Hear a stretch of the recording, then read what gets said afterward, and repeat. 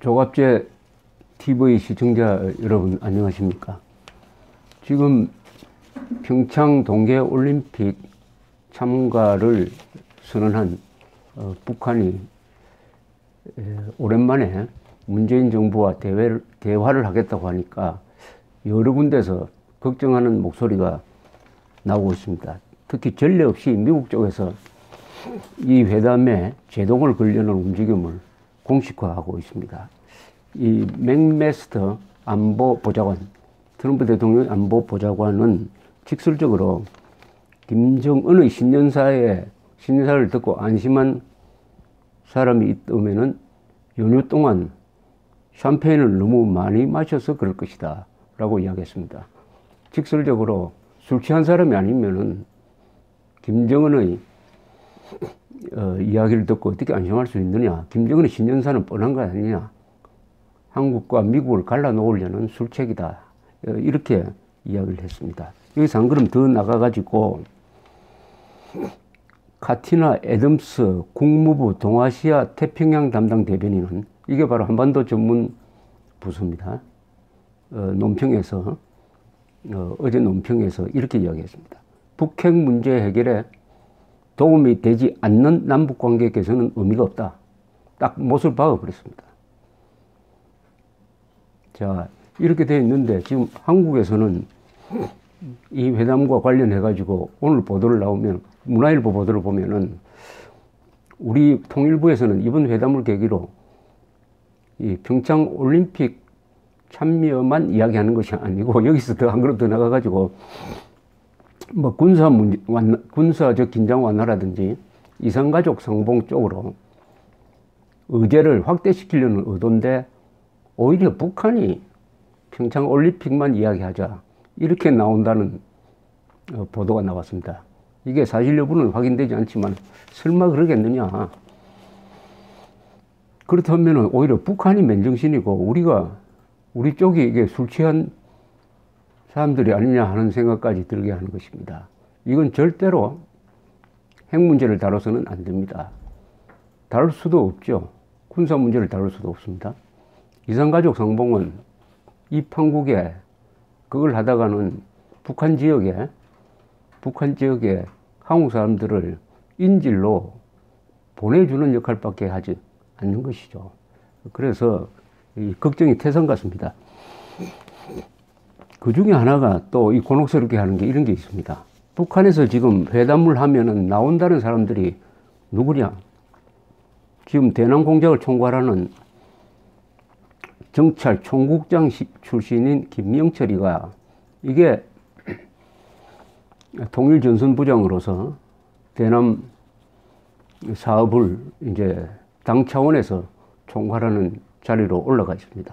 이자는 정찰 총국장 시절이던 2010년 천안함 폭침, 2015년 DMZ의 목함지뢰 도발, 그리고 2014년 11월 미국 소니 영화사 사이버 공격 등을 지휘한 사람입니다.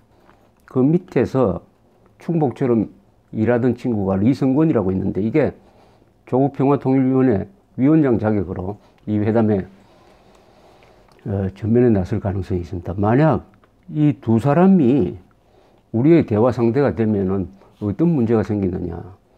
천안함 폭침을 지휘한 자와 대화를 해야 된다는 이야기입니다. 천안함 폭침을 지휘한 자, 즉, 그 전쟁 범죄를 일으킨 자, 그리고 테러, 테러리스트, 수계, 수계는 안 되겠죠. 중간 수, 보수쯤 되겠죠. 수계는 김정은이니까. 그 자와 평창 올림픽이라는 평화, 평화 행사를 논의한다. 테러리스트와 평화 행사를 논의한다. 하는 게 이게 가능하냐 하는 이 원칙적인 문제가 제기됩니다. 예, 여기서 또 법률적인 문제가 있습니다. 우선 이 김명철에 대해서는 말이죠. 김명철은 이 미국이 천, 어, 2010년, 2010년에 미국이 이 김명철과 정찰 총국과 어, 당시에 김정일의 비잠 창구이기도 한 당 39호실을 이 제재 대상으로 삼아가지고 블랙리스트에 올렸어요. 뿐만 아닙니다. 2016년 3월에 북한이 핵실험하고 미사일 발사하니까 박근혜 정부가 이 김명철을 어, 한국의 제재 대상에 올렸습니다. 그러니까 이중으로 제재가 걸려 있습니다. 그러니까 이자들이 금융 거래라든지 그게 미국이나 한국에 재산이 있으면 압류하게 되어 있습니다. 상식적으로 한국에 올 수가 없는 사람들이에요. 김영철이가 그, 그렇습니다. 자, 그러면 어떻게 이런 자를 상대로 우리가 협상을 할 수 있느냐? 이거는 협상 기술의 문제가 아닙니다. 원칙의 문제입니다. 원칙의 문제. 원칙의 문제가 걸려 있어요. 테러 지휘자와 마주 앉아가지고 이 평창 올림픽이라는 평화 행사를 논의할 수 있느냐 하는 원칙의 문제입니다. 여기에 또 중대한 원칙이 하나 저촉되는 게 있습니다. 천안함 폭침 사건입니다. 천안함 폭침 사건으로 46명이 한국 해군이 전사했습니다. 그리고 또 수습 과정에서 한주호 준이라는 아주 의로운 분이 그 심해 잠수를 하다가 심해 잠수는 아니죠, 막 조금 깊은 데 들어갔다가 어, 잠수병에 걸려서 어, 돌아가셨습니다. 또 구조하던 또 다른 배가 또 침몰을 해가지고 한 10명 돌아가셔가지고 직간접으로 한 56명이 죽은 사건입니다. 이 사건에 대해서 이명박 정부는 처음부터 한국 안에서 자꾸 의문을 제기하니까 국제조사단을 만들어가지고 자세하게 조사를 했습니다. 그런데 전후 신조로 이 상거리 여선이 그 근방을 막 훑다가 폭침에 사용된 북한의 의뢰 파편을 발견해서 건져 올렸습니다. 거기에 1번이라는 한글이 적혀 있었습니다. 물증을 찾아낸 거죠. 물증을. 이렇게 해도 믿지 않는 사람들이 한국에 지금도 한 20, 30% 있습니다. 어른 중에서. 그 사람들은 학력이 높은 사람이에요. 또 돈도 많은 사람들입니다. 이게 참 한국의 이 비극적 상황을 잘 보여줍니다. 배울수록 무식해지는, 왜냐, 이념적 어떤 불만이 생기면은 진실을 보여주어도 믿지 않는다. 이런 현상이죠. 그런데 바로 그 천안함 폭침을 일으킨 자하고 대화를 할 수 있느냐? 더구나 북한이 사과를 했다든지 인정을 했으면 또 다른 문제입니다. 지금까지도 천안함 폭침은 자신들이 일으킨 것이 아니라고 거짓말하고 있습니다. 그러면 대화를 하면 어떤 결과냐? 외국에서 보기에는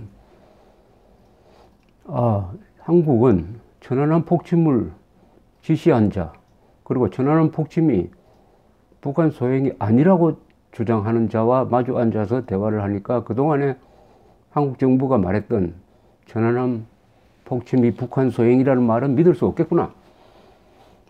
또는 의혹이 있구나.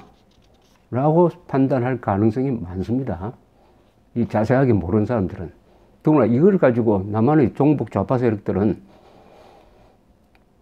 이 젊은 사람들한테 그렇게 가르칠 것입니다. 자, 보라고.